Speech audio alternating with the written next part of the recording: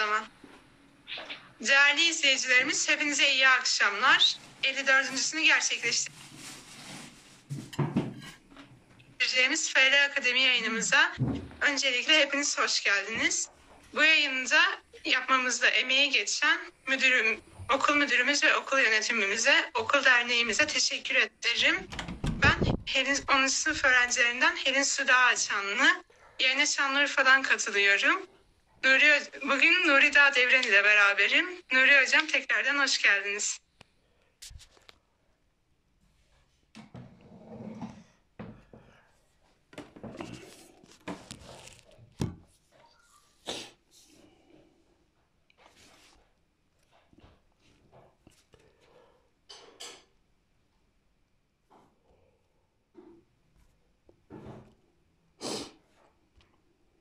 Yaşadık önemli değil.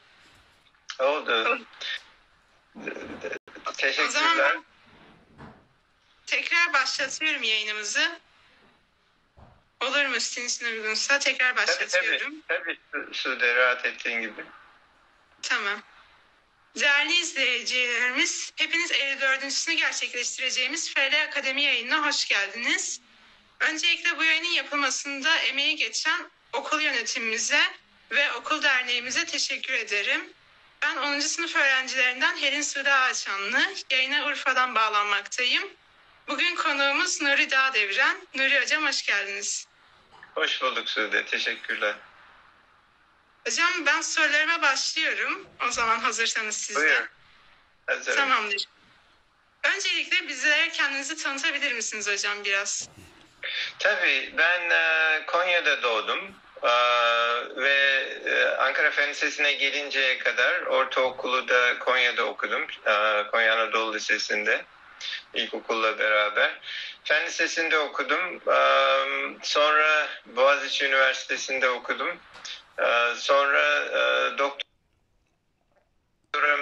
yapmak için e, MIT'de doktoramı yaptım.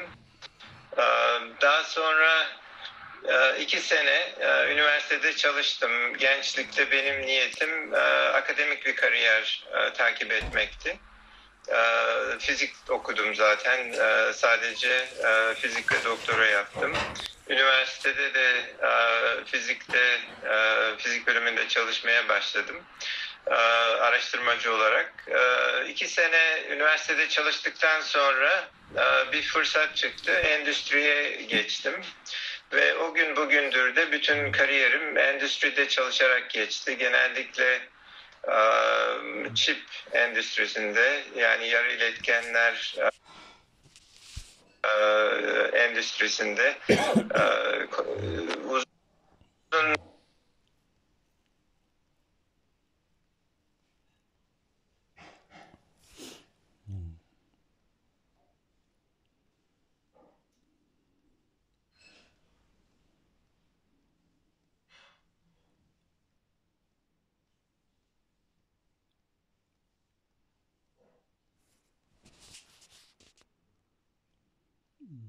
için özür dilerim. Um, değil hocam. Bir, e, işte yarı iletkenler endüstrisinde çalıştım. E, Çoğunluk um, iletişim uygulamalarında kullanılmak üzere başka sensör denilen uygulamalar ve son 5-6 yıldır da bilgi güvenliği uygulamalarıyla ilgili konularda çalıştım. Anladım hocam. Çok güzel. Ee, bize Fen Lisesi'nin hayatınızdaki yerinden ve Fen Lisesi'nin sizde bıraktığı anılardan bahset bir tanesinden bahsedebilir misiniz acaba? Tabii e, çok anı var aslında. Çünkü hayatımızın en e, heyecanlı, en e, renkli olduğu bir döneme rast geliyor. Okulda ciddi bir e, sosyal e, dayanışmamız vardı. E, benim yani aklıma gelen belki biraz da esprili bir anı. Ee, ilk sınıftayken biz o zaman dördüncü sınıf diyorduk. Siz şimdi dokuzuncu sınıf diyorsunuz sanıyorum. Ee, okula ilk Evet, girdiğiniz sene. Ee, o zaman e, bir atletizm takımımız vardı. Zaten bizim toplam sınıfımız 96 kişiydi. E, ve bütün branşlarıyla bir atletizm takımı yapmaya kalkınca neredeyse okulun hepsi zaten atletizm takımındaydı. Benim e, görevim de yüksek atlama ve sırıkla atlamaydı. Ve e, şeyimiz e, tabii sırıkla atlamak için öyle bir düzenimiz falan yoktu. Bu spor salonunun önündeki alanda biz yurttan e, yatak e, götürüp oraya orada e, yapmaya çalışıyorduk. Bir defasında ben yatağı kaçırıp doğrudan toprağın üstüne düşmüştüm ve kolumu e, kırmıştım. Ama e, yani hayatımızın renkli bir e, tarafıydı. Sonra Ankara'da yarışmaya gittiğimizde nedense ilk üç hakkımda hiç atlayamayıp diskalifiye olmuştum sırıkla atlamaktan. Ama zaten başladığım yükseklik yüksek atlamaktan yani atladığımdan daha az bir yükseklikti. E, Herkesin alay konusu olmuştum. Niye o zaman sırıkla atlıyorsun bari sırığı kenara bırakıp doğrudan atlasaydın, doğrudan atlasaydın da diskalifiye olmasaydın diye. Ee, Sonra o grupla biz e, bana rağmen Ankara'da bölgesel sanıyorum şampiyonlukta bir derece alıp Türkiye şampiyonasına gitmiştik İzmir'e hep beraber. Ee, Bütün e, sınıf arkadaşlarımla beraber. Yani uzun zamandır aklımdan çıkmayan güzel anılardan bir tanesi bu. Anladım hocam. Çok güzel bir anıymış aslında. Ben bir de şunu soracağım. Ankara Fen'den sonra Boğaziçi Fiziğe geçmişsiniz. Fizik okumaya nasıl karar verdiniz? Yani ülkemizde çok yaygın bir şey değil. Genellikle mühendislik veya tıpa gidiliyor bizim okulda. Yani adeti öyle diyelim. Siz nasıl karar verdiniz fizik okumaya? Doğru, doğru. Biraz e, olağan dışı bir e, çizgi olmuştu. Onun da bir sebebi var.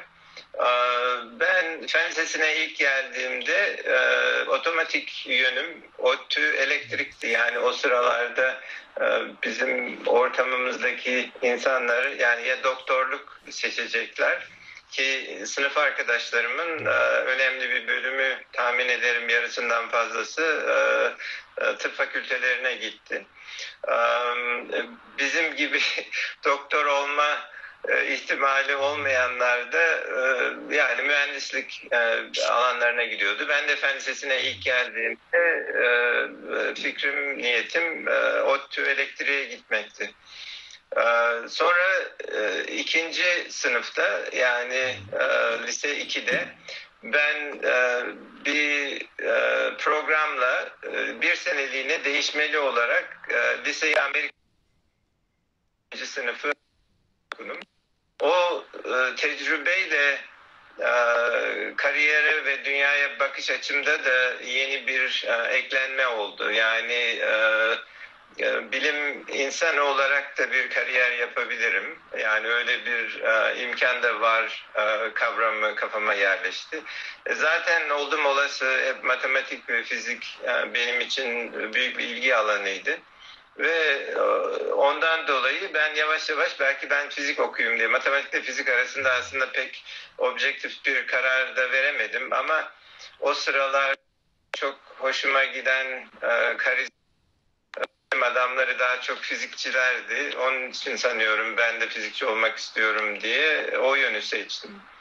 Ee, Ankara'ya döndüğümde son sınıfı okumak için e, bu tam 1980 öncesi bu 1979 78 79 yılıydı. Epey zor bir dönemdi ve e, ODTÜ'de uzun süre kapatılmıştı. O zaman e, biraz panik oldum çünkü başka bir B planım da yoktu yani ben ODTÜ'ye gideceğim diye. E, Sonra Boğaziçi Üniversitesi'nin varlığını o sırada öğrendim. Daha önceden e, bilmiyordum doğrusu. Ve e, o şekilde Boğaziçi Fizik benim birinci tercihim oldu. oraya gittim ve doğrusu çok da memnun oldum. Yani benim için um, çok iyi bir e, fırsat oldu Boğaziçi'nde okuyabilmek o sırada.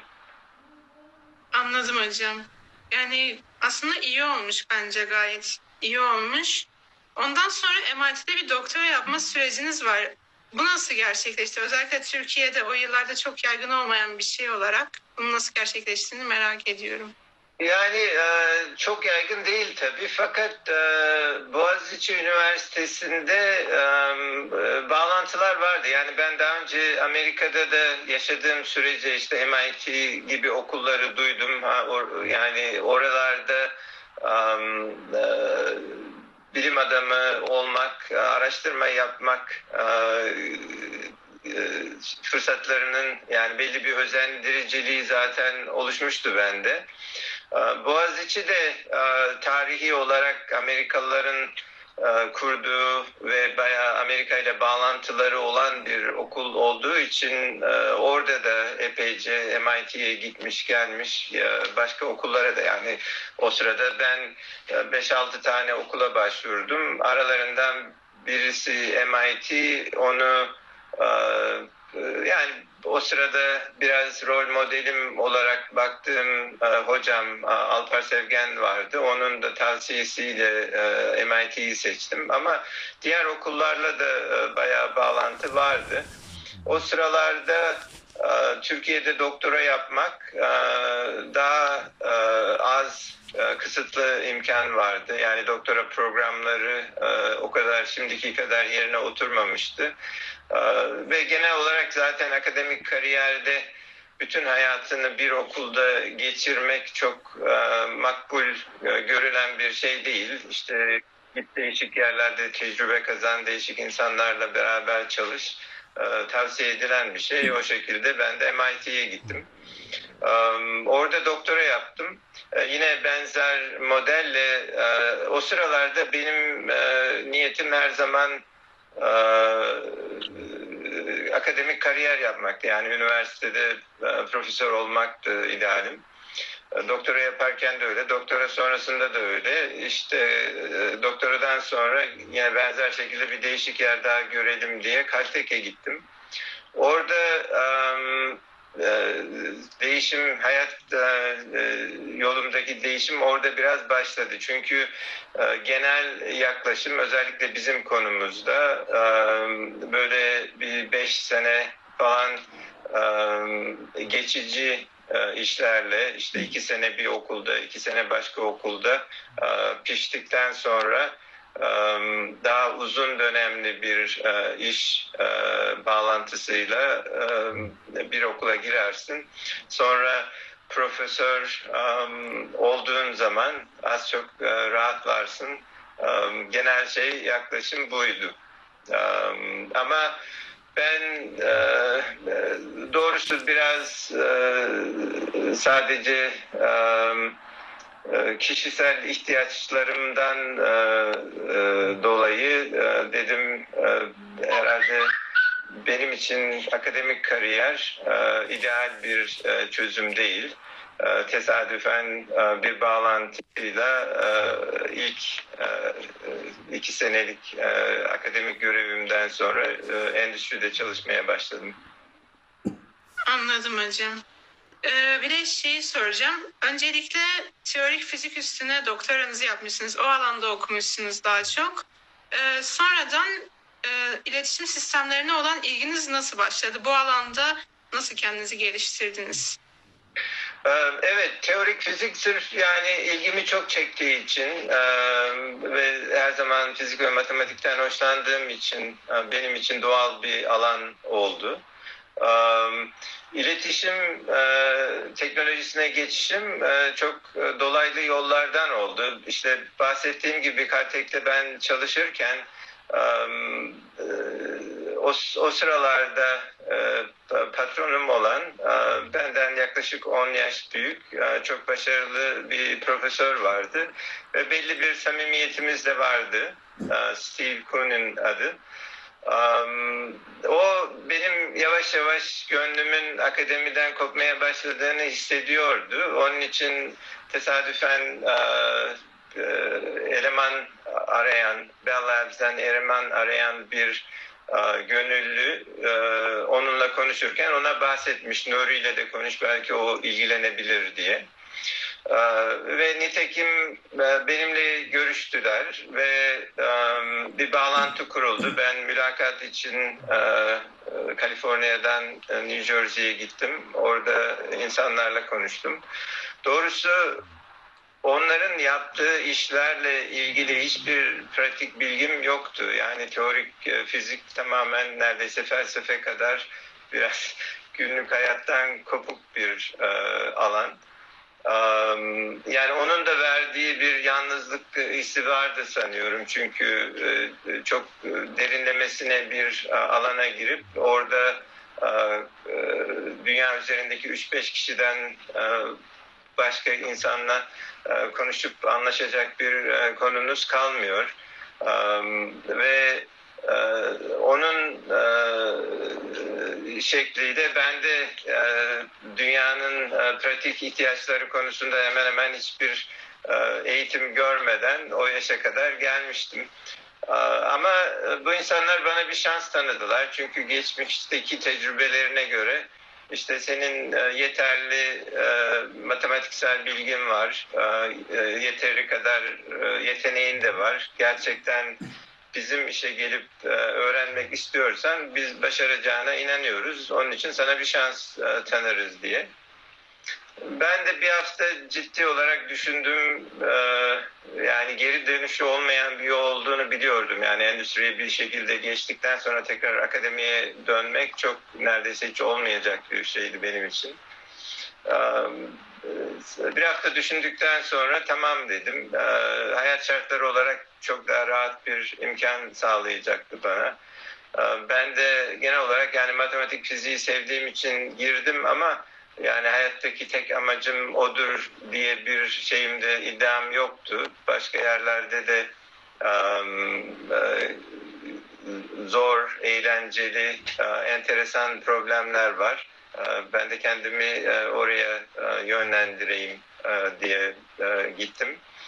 Ve dediğim gibi ilk başlarda hiçbir pratik e, bilgim yoktu. Onun için beni sadece düz mantıkla yapılabilecek işlere verdiler. Yani e, bir e, tek yani özelleşmiş bir bilginin gerekmediği ilk işim olarak müşterilerle konuşup yani o sırada yazılım sistemleri yapıyorduk. Biz telefon şirketlerinin kullandığı.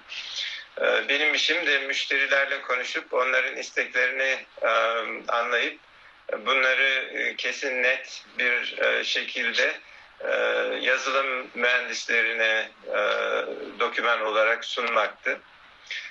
İki sene o işi yapıp biraz bir şeyler öğrendim.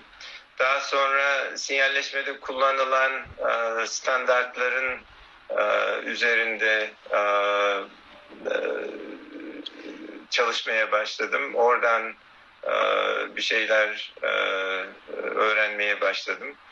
Ve sonunda iletişim teknolojisine geçmem birazcık e, şans e, işi oldu. Çünkü bu e, sinyalleşme standartları üzerinde uğraşırken e, e, bir e, önemli bir bulguya tesadüfen eriştim ve o e, benim ilgimi çekti. Bir de bu endüstride bana uygun bir alan olduğu hissini verdi. Çünkü e, matematiksel olarak e, gerçekten katkı yapabileceğiniz e, bir alan hem de çok pratik sonuçları var. Yani hem böyle matematik hem de ticari olarak ve teknik olarak pratik önemi olan bir şey olunca o ikisinin birleşimi olarak benim heves alanım oldu ve e, orada kaldım uzun süre. Anladım hocam. Peki Caltech'ten sonra Bell laboratuvarlarında çalışmaya başlıyorsunuz. Ee, Caltech'in burada etkisi ne oldu ve Bell laboratuvarlarında çalışmanın kariyerinize nasıl etkileri oldu bize anlatabilir misiniz? Tabii yani Caltech MIT gibi e, geçmişin e, olması e, doğrusu katkısı. E, mesela Bell Labs gibi bir organizasyondan bir şans tanınmasına yaradı. Yoksa Um, orada öğrendiğim şeylerin direkt olarak bir uygulaması e, hiçbir zaman söz konusu değildi. Sadece orada geçirdiğim zaman ve erişebildiğim noktaların e, beni değerlendiren insanlar için bir ölçüt olmasıydı yani e, direkt olarak. İşte Belarus'ta e, çalışmaya e, başladım ve ilk yıllarım yani bir herhalde 5-6 yılı e, devamlı öğrenmekle geçti. Çünkü yap, yapmam gereken her şeyi işte öğreniyordum. Daha öğren daha önceden öğrendiğim şeyler değildi. Ve yani e, bir yandan da rahattı. Şey olarak ne bileyim öğrenmek her zaman zevkli. Ee, ve sonuçta yaptığınız şeylerin pratik sonuçlarını görmek de e, ayrı bir zevk. Labs'e zaten e, girdikten sonra neredeyse bütün kariyerim orada geçti. Yani 20 sene ben e, orada çalıştım. E, zaman içinde değişik görevler aldım. Ama yani sonuçta ben şirketi değiştirmedim. değiştirmedim. Şirket kendisi değişti epey o, o dönemde. Anladım hocam. Ee, bir de Bellava atarlarından galiba fellowluk ödülü almışsınız, fellow ilan edilmişsiniz. Bize bundan bahsedebilir misiniz? Fellowluk nedir? fellow Türkçe karşılığı yani bir liyakat ödülü.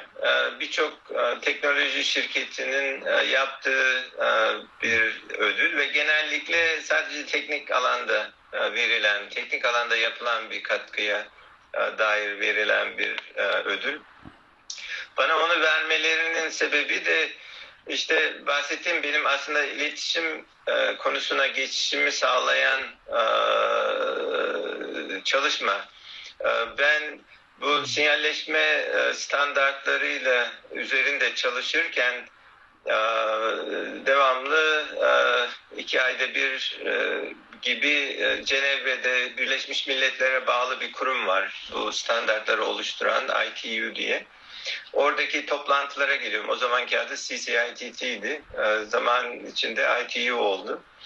Um, ve um, o toplantılar sırasında yani bir yandan bunu öğreniyorum, bir yandan uh, telefon uh, ağı nasıl çalışıyor, işte um, analogdan uh, sayısal uh, geçiş nasıl sağlanıyor, o gibi konularda pratik görevlerim vardı ve görevlerim boyutunca görevlerimin e, kapsamında e, ben de öğrenmeye devam ediyordum ve öğrenmem de tamamen bir çıraklık öğrenmesi gibi eğer kimse gelip bana bir şey öğretmiyor yani bir yandan kendi e, mantığımı kullanarak sonuçlar e, çıkarıyordum. O sıralarda modemler kullanılıyordu. Telefon hattı üzerinden modemler ve yani çok kısıtlı uygulamaları vardı. İşte banka hesabına girebilmek için ya da insanlar birbirlerine basit text mesaj gibi mesajlar yazabilmek için kullanıyorlardı. Ve e, hızları yaklaşık e, 9 kilobit, 14 kilobit falan o, o civarlardaydı. Fakat bir yandan da um, e, telefon ağının içinde e, bağlantıların çok daha hızlı olduğunu biliyordum ve sayısal olarak bunların nasıl yapıldığını da biliyordum. E, bir şekilde bu modemlerin dünyasıyla telefon dünyası iki ayrı dünya gibiydi. Yani birileri o um, modemler konusunda iyice uh, uzmanlaşmış ve oldukça ağır matematiksel uh, çalışmalar yapıyorlardı. Diğer tarafta telefon ağının içindeki uygulamalar bir açıdan e, daha e, kolaylaşmış yani şimdiki internete benzer e, bir düzende gidiyordu. Ben tabii her yere biraz biraz girdiğim için bu iki yönü de az çok kendi kafamda birleştirdim. Ee, ve o sıralarda e, verilen e, bayağı pahalı bir şekilde satılan bir servisi vardı çalıştığım şirketin. 56 ee, kilobit servisi diye. O sıralarda sadece işte e, piyango bayileri falan gibi özel uygulamalar e, kullanıyordu. Yani datayı e, çabuk bir şekilde e, göndermeleri gereken. E, ben kendi kafamda bu iki şeyi birleştirdim. Herhalde e, bu servisi şu teknikle veriyorlar diye ben kafamda bir çözüm e, üretmiştim. Ama sonra işte bu toplantılardan birinde akşam yemeğinde e, bir arkadaşla konuşurken benden daha tecrübeli bir arkadaşla konuşurken o benim bu varsayımımı fark etti ve dedi yok o öyle çalışmıyor onu başka türlü yapıyorlar dedi. Um, Ben de kafama takıldı acaba niye benim düşündüğüm gibi yapmadılar diye. Sonra geri döndüğüm zaman Bell Labs'e um, bir yakın arkadaşım uh, Ender Ayanoğlu bu konularda çalışıyordu gene Bell Labs'te. Ona gittim bahsettim yani niye bu teknik kullanılmıyor diye. O da bak tesadüf ya ben geçenlerde buna benzer bir şey e, gördüm e, dedi. E, bizim şirket içindeki bir e, internetimiz yavaş yavaş e, gelişiyordu o sıralarda. E, bir girdik e, onun bilgisayarından bir makale çıkardık. Hakikaten e, Bell Labs'ten e, bir üç tane e, tecrübeli insan bu konuda bir e, e, makale yazmış. Ve sonuçta vardıkları sonuç bu mümkün değil. Yani teorik olarak mümkün ama pratik olarak mümkün olmayan bir şey diye onu kesip oraya bırakmışlar. Ben o kadar kolay kabullenmedim bunun niye pratik olmadığını. Dedim yok benim bildiğim şekilde yaparsak pratik olur. Ve sonunda o insanlarla beraber çalışmaya başladık benim e, e, ne bileyim birazcık hevesim ve iddialarımla e, sonuçta İtek Halk'a o onların olmaz dedikleri şeyi olur hale getirdik. Ve o sırada ben e, işte bu alanda epey matematiksel katkılar yapılabileceğini e, anlayıp bu alan bana uygun bir alan deyip o, o alana geçmiş oldum. Ve bu bunu yaptığımız zaman yıl 1991 e, gibiydi, 90-91 gibiydi. E, Bana bu ödülü vermeleri bir 10 sene sonra. Çünkü o arada aslında önemli şeyler oldu. Bu teknoloji internetin ilk çıkışında 94 5 6 senelerinde bayağı e, önemli bir katkı yaptı ve e, o modemlerin çiplerini biz e, satanlardan birisi de bizim şirketti ve oradan epeyce para kazandık ve e, bu katkıdan dolayı benim e, beni bir şekilde böyle layık görmüşlerdi. Anladım hocam. 91 yıllarından bahsettiniz. Aynı yıllarda da galiba 56K modemi geliştirmişsiniz. Bize bunu, bu icadınızı ve bunun hikayesinden de bahsedebilir misiniz acaba? Yani evet biraz şimdi e, bahsettim E, daha e, şeyi yani biraz daha detaylı bahsedebilirim tabii. Üç tane iş arkadaşı benden bağımsız olarak bu konuya girmişler demiştim. Bunun sebebi de şu o sıralarda bu modemlerin ta 1960'lardan beri e, yapılmasına katkıda bulunan e, Bavlaki diye bir e, e, yöneticimiz vardı.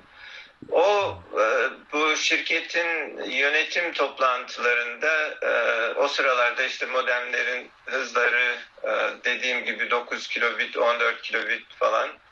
Ya e, ve e, bayağı ciddi bir çalışma vardı. Bunu e, işte 28.8'e çıkarabilmek hatta 33.6'ya çıkarabilmek diye ve gerçekten matematiksel olarak çok e, yetenekli, kapsamlı insanlar buna çalışıyorlardı. Yani e, o konuda en ileri noktalardan birisiydi bunu bu modemlerin çalışmasını o hızlara getirebilmek. Bu e, Bablaki'nin kafasına takılan soru e, ya işte telefon ağının içinde işte e, 64 kilobit var, 1.5 megabit var, her şey yapıyoruz. Hatta yüzlerce megabite giriyoruz. E, sonuçta bu e, modemlerin bağlantısı da o ağın üzerinden geçiyor. Niye e, e, bu şey takılıyor kalıyor orada 33.6'da falan diye. Şirket içinde e, en böyle matematiksel olan insanlara bunu bir soru olarak vermiş. Yani benim kafama yatmıyor bu. Siz bunu bir iyice bakın açıklayın diye. Bu bahsettiğim e, çalışmada oymuş. Yani bu insanlar bunun niye yapılamayacağını bir şekilde baştan e, kabullenerek e, onu matematiksel olarak açıklamışlar. Ben tabii bütün hayatımı bu çalış bu konulara ayırmadığım için daha böyle genç o da yapılır bu da yapılır gibi bir pozitif yaklaşımla yaklaşıyorum. Bir yandan da o tecrübeli yaşlı iş arkadaşlarımı da sinirlendiriyorum çünkü onlar da bilmiyoruz bu o kadar kolay değil olmayacak. Niye olmayacağını da bilmiyorsun. Ben bir bakıma niye olmayacağını bilmemek benim için bir avantaj oldu orada. Çünkü ben yani yapabileceğime inandım. Ve e, tabii onlara göre avantajım da e, onların kendilerini e, e, kısıtladıkları kavramların dışında bir şeyleri de işin içine getirebiliyordum. Yani onlar bunu tamamen bütün sınırları bu olan bir matematiksel problem olarak bakıyorlar. Nitekim öyle baktığınız zaman verdikleri sonuçlarda, aldıkları sonuçlarda doğru. Ama benim oraya getirdiğim şey bu kadar dar kısıtlı bakmayın. Yani bu ortamın içinde olduğu çok daha geniş bir dünya var ve o dünyanın bu ortamla etkileşmelerini de işin içine kattığınız zaman varsayımlarınızdan bazıları e, geçerli değil artık ve o zaman matematik problemi farklı bir hale geliyor ve çok daha çözülür bir hale gelebiliyor. Benim e, katkım bu olmuştu. Öyle. Bilmiyorum daha ee, fazla da e, aklıma gelmiyor doğrusu bahsedecek bir şey bu konuda. Anladım hocam. Aslında gayet güzel bir şey anlattınız. Yani bazen çok bilmek de iyi bir şey değil gibi olabiliyor. Evet. Evet, aynen öyle. Yani e, aynı e, şeyleri tekrar tekrar karşılaşmak bir yerde onları şartlanma haline getirebiliyor. Anladım hocam. Hocam sıradaki sorum bizim asıl konumuzla ilgili. Bilgi güvenliği ve bilgi güven internetin icadından bu yana bilgi güvenliği. Bize bilgi güvenliği nedir? Bilgi güvenliği teknolojileri nedir? Bunları açıklayabilir misiniz acaba? Tabii. İnternet yaygınlaşıp insanların e, kendi bilgilerini e, paylaşma e, imkanları artık neredeyse sınırsız bir hale gelince insanların bu mahremiyet ve özellik hisleri ve isteklerini bir şekilde dengelemek gerekti. Yani bu şirketler için çok daha önceden vardı bazı gizlilik konuları. Yani tüketicilerin bizim gibi bireylerin de hemen aklına gelen mesela para varlık konuları, bankadaki paramın güvenliği nasıl sağlanır gibi anlaşılır ihtiyaçlar. Bunu e, sağlayabilmek e, modern dünyada şifreleme ile yapılıyor. Yani bilgilerin hepsi sonuçta bitler olarak değişik medya üzerinde saklanıyor. Fakat her okuduğunuz bite bir anlam e, verebilmenizi engellemek için e, şifreli e, bir şekilde saklanıyor. Ve şifreli şekilde saklandığı için şifrenin ne olduğu çok kritik bir değer oluyor. Yani şifreyi bilirseniz eğer her şeyin her şeyi saklamanın yolu şifrelemek ise o zaman şifreyi bilirseniz bütün saklantıları aşıp e, her şeyi okuyup her şeyi öğrenmeniz de mümkün. Onun için e, bu teknoloji e, genel olarak şifrelerin üretilmesi ve bu şifrelerin saklanması ve o şifreleri kullanarak e, bilgilerin şifrelenmesi ve çözülmesi üzerine ve bunu e, bir açık vermeden, bir mantık açığı vermeden yapabilmek epeyce karmaşık bir hale e, dönüşebiliyor.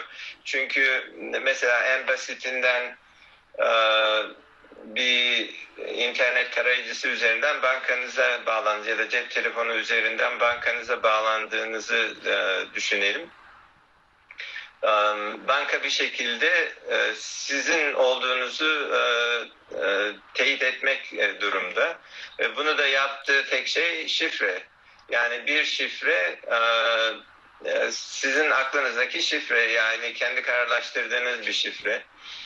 Ve aslında insanların e, ürettiği şifreler bu konuda çok yetersiz. Çünkü e, e, e, insanların aklına gelebilecek şeyler e, çok kısıtlı. E, mesela e, internet üzerinde, e, bilgisayar sistemlerinde yaygın kullanılan şifreler en azından 128 bit uzunluğunda bir sayı ya da 256 bit. Gitgide daha da fazla gizli kalmak isteyen insanlar işte 384-512 bitlik şifrelere bile gidebiliyorlar. Yani en küçüğü 128 bit bile 2 üzeri 128 ihtimali olan e, bir e, e, tesadüfi değer. 2 üzeri 128 de yaklaşık işte 40 haneli falan bir sayı.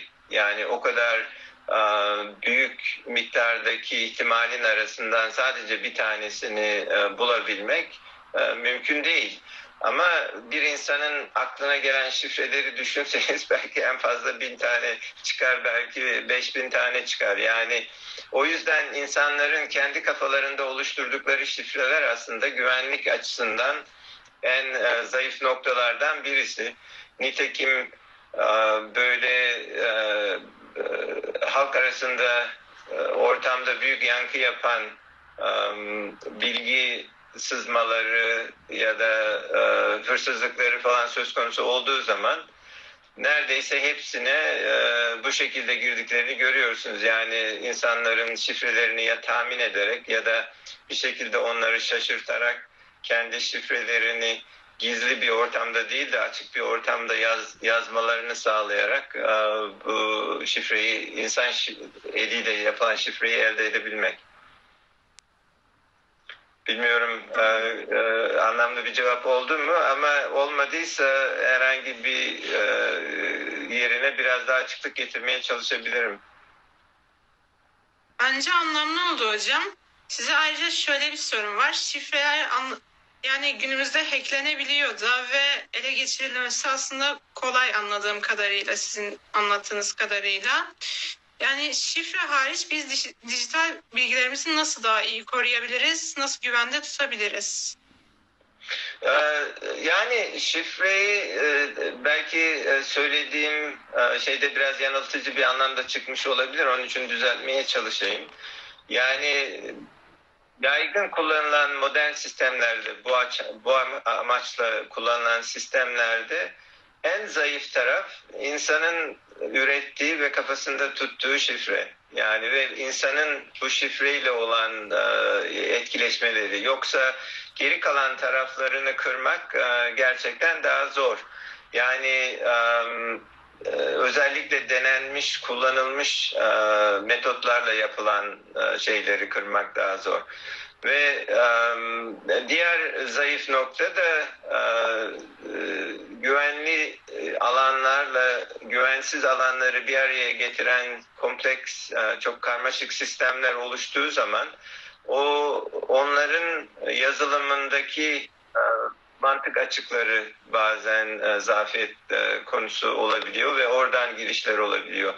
Ama yani burada en kötü niyetliler için en verimli alan insanları şaşırtarak yani onların şifrelerini ya tahmin ederek ya da onların şifrelerini açıklamalarını e, sağlayarak e, saldırmak.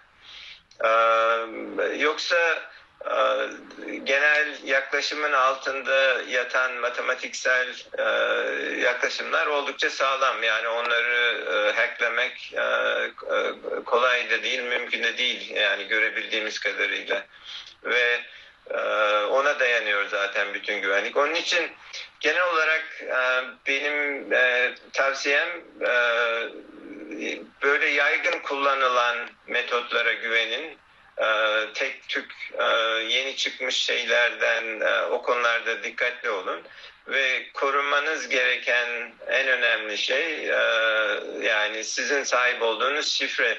Zaman içinde bunu böyle işte bildiğim kelimelerle rakamları karıştırarak falan değil de bir şekilde gerçekten random e, sayılar üreterek e, yapmak e, en sağlamı. Anladım hocam. Hocam şimdi biraz da cloud teknolojilerine değinmek istiyorum. Özellikle bilgilerimizi saklamada çok kullanıyoruz bu teknolojiyi. Bize biraz bunu açıklayabilir misiniz ve e, ayrıca biz bu teknolojiye ne kadar güvenebiliriz?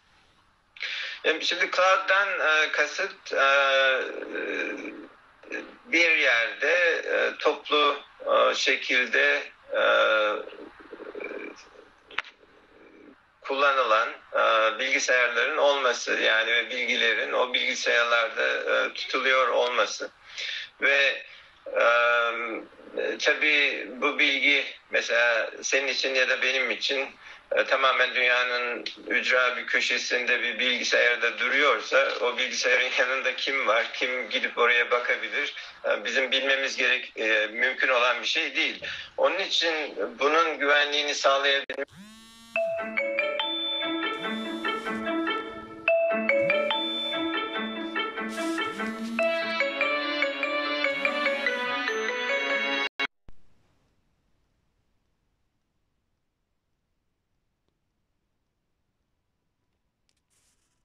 daha çok teknolojiden çok e, ilişki kurduğunuz e, insanların ya da şirketin güvenilir olup olmaması e, ve e, bu bilgilerin e, saklanmasına dair e, nasıl bir politika izlediklerine dair şey konular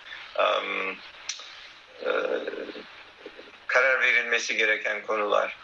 Yani e, bu son zamanlarda epey bir e, güven şey oldu, e, e, popüler ilgi oldu. İşte WhatsApp konusunda e, yok diğer buna ona benzer haberleşme e, sistemleri konusunda. E, yani hepsinin kullandığı yaklaşımlar az çok aynı ve hepsinin yaklaşımları yani teknolojik olarak yaklaşımları e, sağlam. Yani orada bir e, sorun yok. Ee, Orada insanların düşünüp karar vermesi gereken e, karşıdaki şirketle olan anlaşmaları yani ne tür e, bilgilerime sahip oluyorlar ve bu bilgilerle e, ne yapma hakkını ben onlara veriyorum. Yani bu o kadar açık ve net bir soru değil ve kişiden kişiye değişebilecek bir cevap. Çünkü bu şirketlerin sağladıkları imkanlar da e, az değil. Yani mesela şu sırada ben e, seninle de konuşuyorum. Ee, e, bu sayede başka ilgilenen insanlarla da konuşuyorum. Ve hiç para vermeden bunu yapıyorum. Yani e ama bunu yapmak o kadar kolay bir şey değil. Epey bir yatırım gerekiyor, epey bir uğraş gerekiyor. İnsanların ee, insanlara bunu sunabilmek için bu şirketler epey uğraşıyorlar. Ve bunun e, biz bunu alıyoruz. bir yandan da e, karşılığında ne veriyoruz diye. Ve e, insanların belki birazcık zorlandıkları konu bu şey sanki hiçbir şey vermiyoruz. Tamamen yani hava, su gibi e, tabiatın bize verdiği bir şeymiş gibi düşünmeye başlıyorlar. Ama tabii ekonomi hiçbir zaman öyle değil. Yani karşılığında bir şey alıyor olmaları lazım ki e, sana bu hizmeti ücretsiz olarak veriyorlar. Ve işte o karşılığında verdiğiniz şeyin bilincinde olmak ve orada rızanızın olup olmadığına karar vermek yani bütün e, mesele. Yoksa işin teknolojik tarafında o kadar enteresan bir durum yok aslında. Anladım hocam.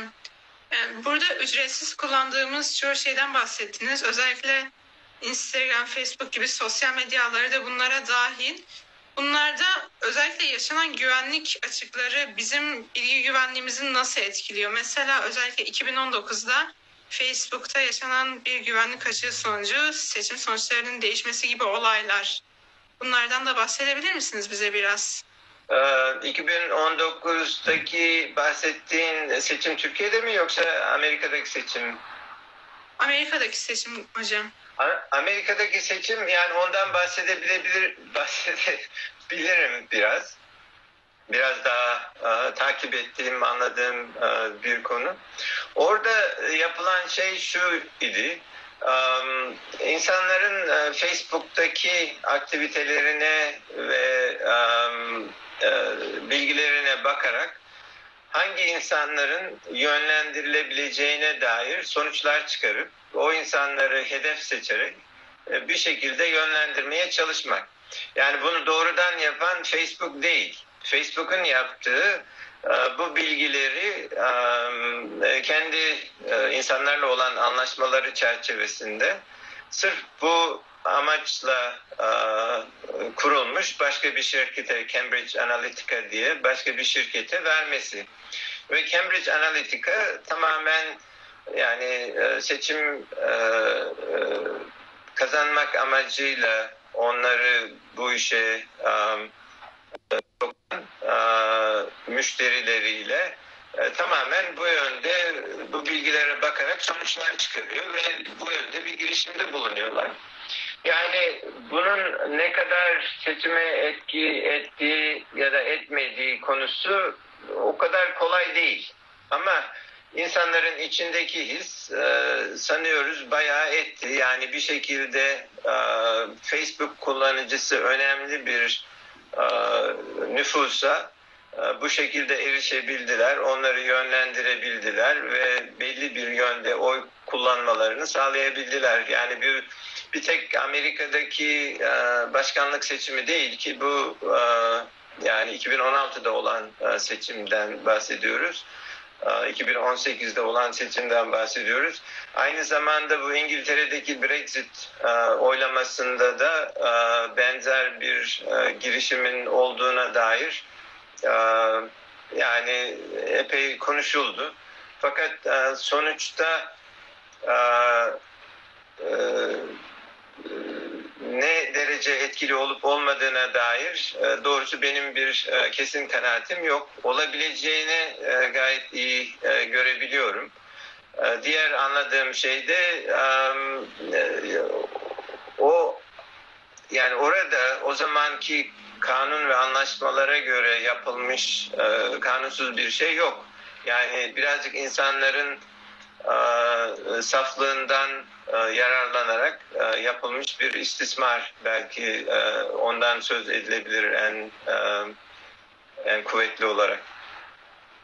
Anladım hocam. Yani etik açıdan çok da doğru bir şey değil. Ama teknolojik açıdan tabii ki Bilmiyorum siz daha iyi bilirsiniz o kısmını. Yani teknolojik açıdan çok esprili, çok e, zor e, bir konu değil. Yani gerçekten bu e, insanların bir işe girerken, bir anlaşmaya girerken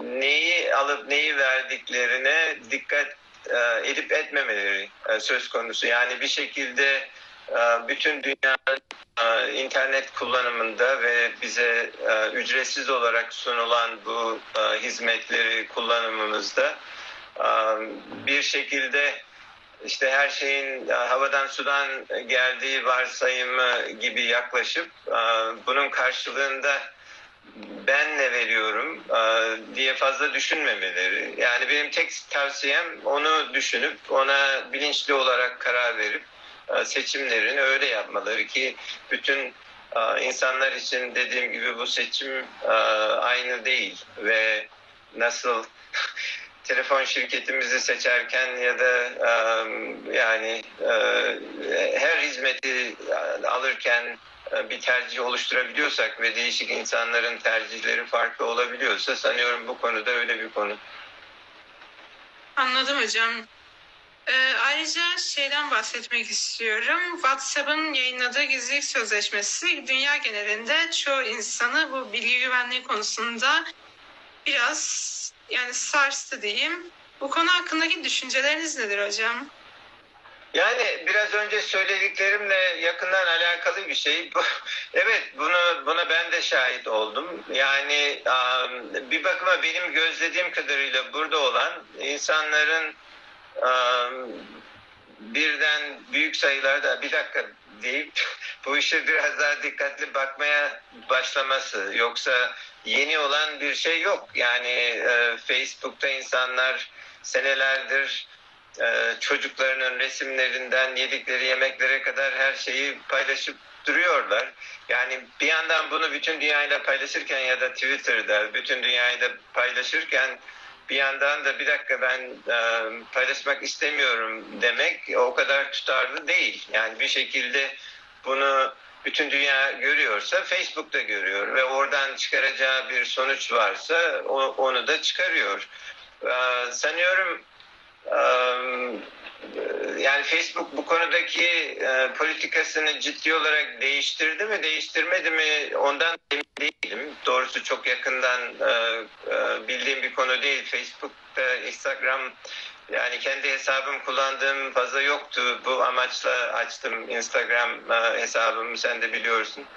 Um, bir şekilde onlar da kendilerini e, e, yani garantiye almak için sanıyorum her şeyi e, insanların önüne koydular. İşte biz bunu yapıyoruz, bunu alıyoruz. Tamam kabul ediyor musunuz diye. İnsanlar bunu gözlerinin önünde görünce bu sefer ha bir dakika ben ediyor muyum, etmiyorum diye biraz daha ciddi olarak düşünmeye başladılar. Benim görebildiğim olay bu. Yoksa yeni birden olan bir e, devrim, büyük bir değişim e, gözüme çarpmadı. Anladım hocam. Ee, bu arada bilgilerimizi güvende tutmak için neler yapılabilir diye bir soru soracağım. Şifreleme yönteminden bayağı bahsettik fakat bunun yeterli olmadığı durumlarda özellikle banka gibi yerlerde bu konular çok daha önemli. Neler yapılabilir? Yani e, kişisel olarak e, verebileceğim en büyük e, tecrübe yani bir şekilde ideal olan e, ama insanlara zor gelen e, bir yerden e, tesadüfi bir numara çıkarıp şifrenizi bu yaparsanız en ideali o. Çünkü onu kimsenin tahmin etmesine imkan yok. Ama orada da problem bu sefer siz nasıl hatırlayacaksınız? Yani insanların belki şifre konusundaki en büyük pratik problemi bu. Yüzlerce şifre var. Hepsini aynı yapsanız bir dert. Bu sefer çünkü bir tanesi kırılırsa her şey gidecek. Hepsini farklı farklı yapsanız hangisi neydi, nerede kullanılıyordu onu hatırlamak zor. Bu sefer insanlar ellerine büyük bir liste yapıyorlar. Onun şifresi bu, bunun şifresi bu. Sonra o liste birisinin eline geçerse bu sefer bütün hayatınız gidiyor.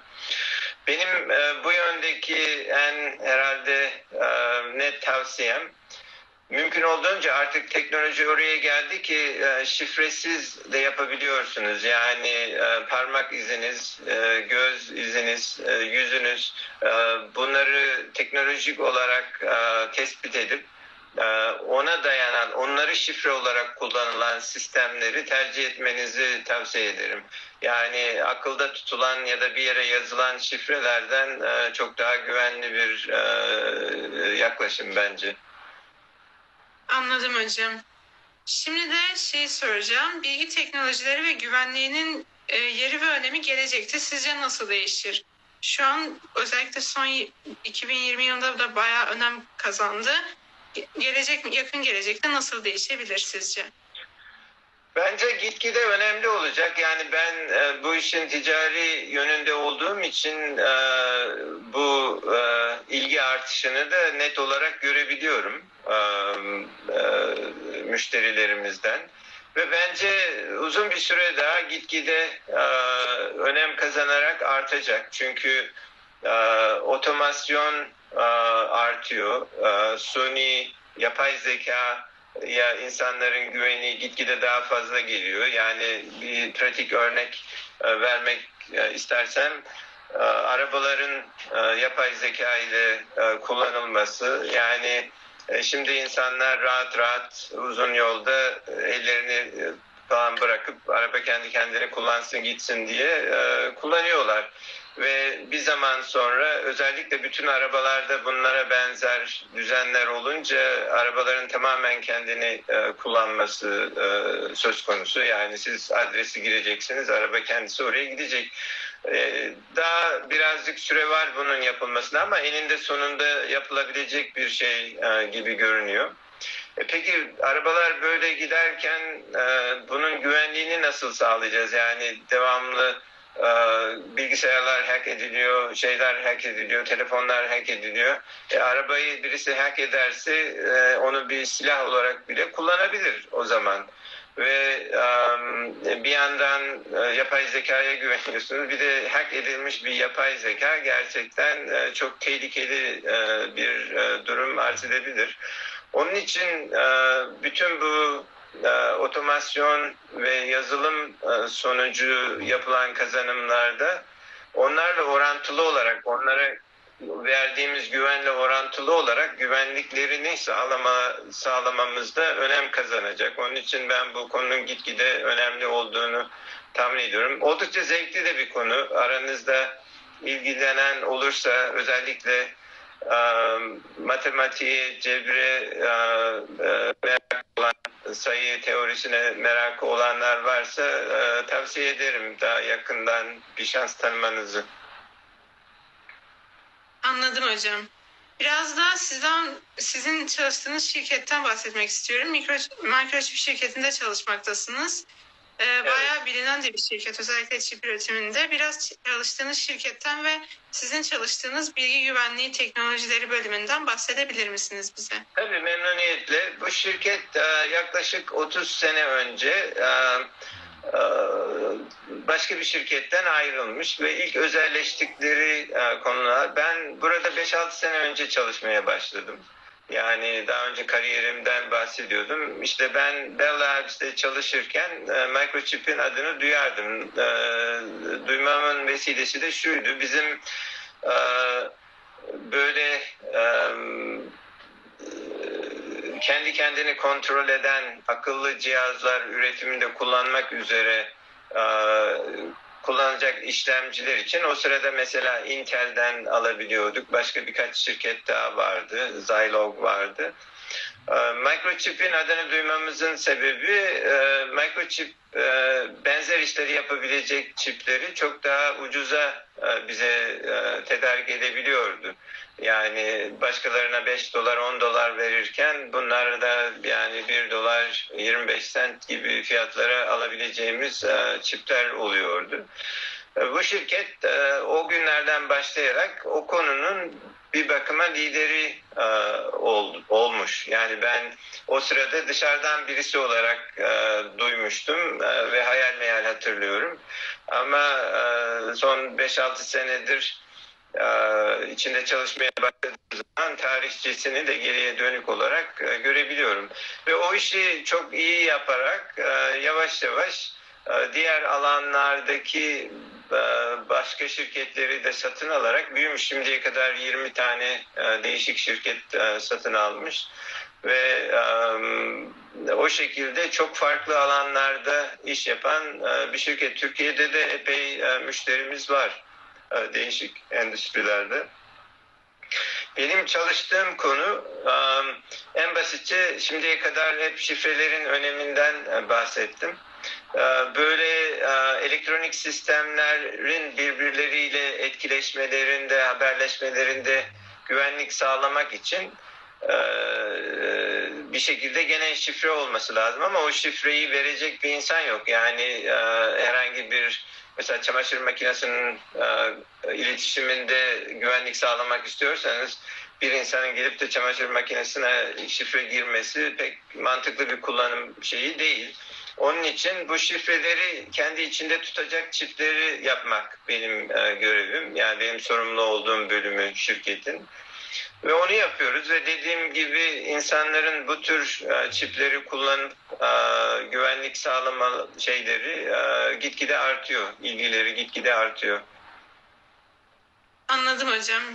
Bir de size şey sormak istiyorum. Pandemi ortamı malum. Çalışmalarınızı hem bireysel olarak hem de şirket olarak nasıl devam ettiriyorsunuz? Um, enteresan bir soru benim için. Çünkü bir şekilde benim hayatımı, hayatı en az etkilenen insanlardan biri benim herhalde. Çünkü benim ofisimle evim arasındaki mesafe oldukça uzak. Yani Ankara'dan örnek verirsem düşünün ofisim Polatlı'da ben işte Ankara'da Balgat'ta oturuyorum. Um, ama ve zaman içinde benim yakın çalıştığım iş arkadaşlarımın hepsi benden daha da uzakta olmaya başladı. Amerika biliyorsunuz büyük bir coğrafya. Um, en bana en yakın olanları uçakla iki saat mesafede şimdi. Yani bizim şirketin ofisi var, benim de orada bir ofisim var ama benim yakın çalıştığım kimse yok orada. Onun için ben senelerdir ancak e, iyi bir sebep olduğu zaman e, iki saat yol gidip e, ofisime gidiyorum. Sonra geliyordum. Öyle çalışıyordum. Yani ben büyük oranda zaten evden çalışıyordum. Sonra pandemi çıkınca herkes benim gibi oldu. Ve e, bir şekilde e, benim hayatımı e, tanımış oldular. Ama benim için çok büyük bir şey değişmedi. Ben senelerdir aslında benzer şekilde çalışıyorum. Epeyce değişik ülkelerde de çalıştım. Yaklaşık değişik zamanlarda 4 sene Kore'de, 2 sene Hollanda'da çalıştım. Ve devamlı Amerika bağlantılı e, işlerle uğraştığım için geceleri geç vakitlerde falan çalışmam söz konusu olduğu zaman e, büyük ölçüde evden çalışıyordum zaten. Anladım hocam. Kore'den bahsetmişken galiba orada da Samsung şirketinde çalışmışsınız. Bize oradaki deneyimlerinizden biraz bahsedebilir misiniz? Tabii e, Kore e, ben Samsung'da çalışmadım ama Samsung'la çok yakından çalıştım. Samsung benim müşterimdi. Bu belki son görevim oydu. Samsung telefonlarında kullanılan um, um, modemleri diyeyim yani e, baz istasyonlarıyla telefon arasındaki bağlantıyı sağlayan e, çipleri yapıyorduk biz. Ve benim görevim de Samsung e, bunları e, satmak ve e, yani onların teknik sorunlarını halletmek bir bakıma bu işten sorumlu insan olarak orada bulunmaktı. Kore'ye daha önce kısa bir süre gitmiştim ama böyle uzun süreli kalmak söz konusu olunca gidip bir daha bir bakayım deneyeyim dedim. Yani bir hafta şöyle bir gezdim. E, Dedim tamam e, e, ben yaşarım burada diye. Ve gerçekten bu yaklaşık 20 sene önce olan bir şey. 20 değilse de 16 sene önce olan bir şey. Gerçekten de çok güzel bir dönem oldu benim için. Gayet iyi bir hayat yaşadım. Kore çok enteresan bir yer. Bir yandan Türkiye'ye çok benzeyen, çok ortak yanlarımızın olduğu kültürel olarak, dil olarak e, yani e, Korece ve Türkçenin aynı e, kökten geldiğine dair benim içimde pek fazla bir şüphe kalmadı Koreceyi de öğrendikten sonra. Kültürel, kül- kültürel olarak da e, bize oldukça yakın e, bir toplum. Ve yani Samsung, Hyundai gibi şirketler de bizim için bence çok iyi örnekler. Yani bizden işte farklı olmayan insanların nasıl böyle dünya lideri sonuçlar çıkarabileceğine dair bence gayet iyi örnekler. Öyle Kore'deki iş ortamı da Türkiye'ye biraz benziyor. Türkiye'deki gibi güçlü holdingler var.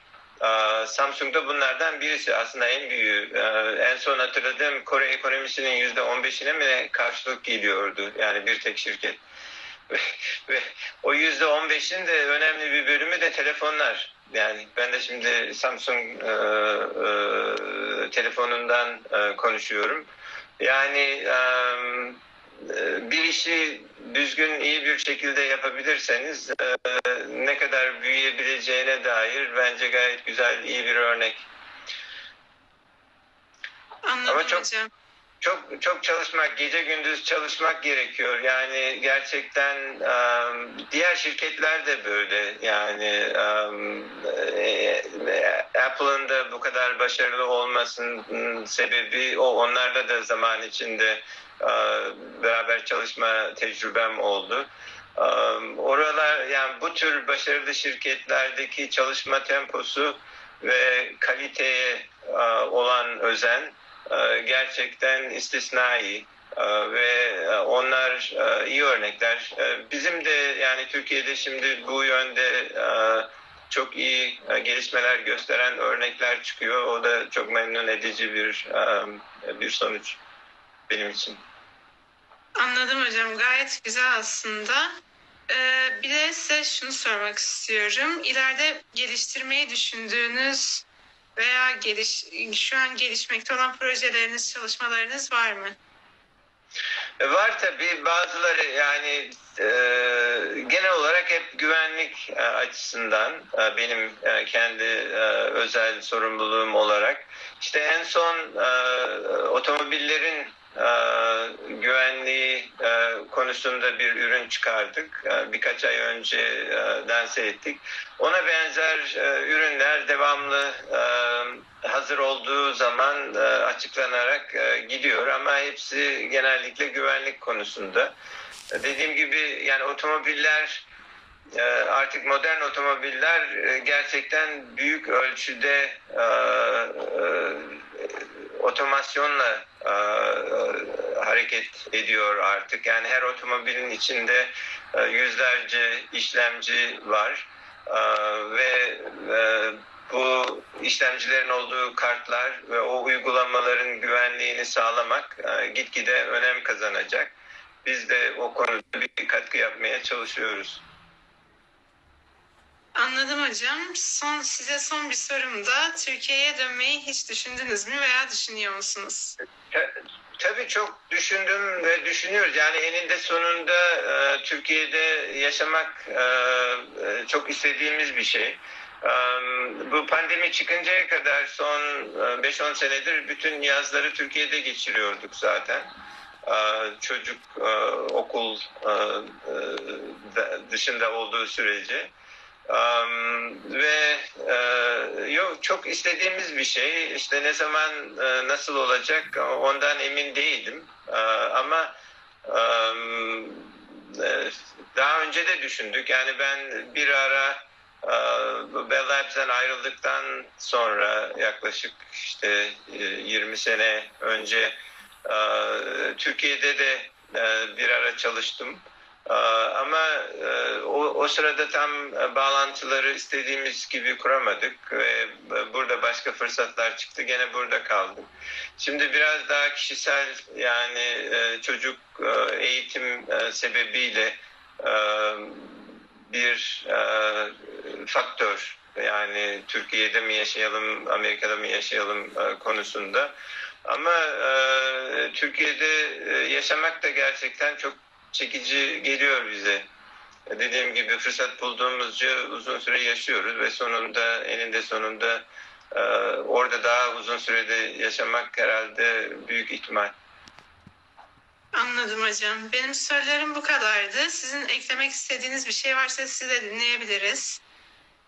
Ee, e, sağ olun.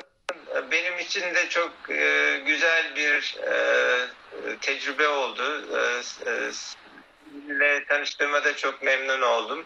E, gerçekten e, özel olarak konuştuğumuzda bahsettiğim gibi e, şimdiye kadar e, verimli çağlarımızın çoğunun yurt dışında geçmiş olduğu olması bizim için aslında bir eksiklik ve onu doldurabilmek için elimize bir fırsat çıktığı zaman e, bu çok kıymetli bir fırsat. Tabii bu çok e, küçük bir şey. E, Ben Boğaziçi Üniversitesi'nde de yaklaşık 20 sene ders verdim. İşte uzman olduğum konularda katkıda bulunabilmek amacıyla.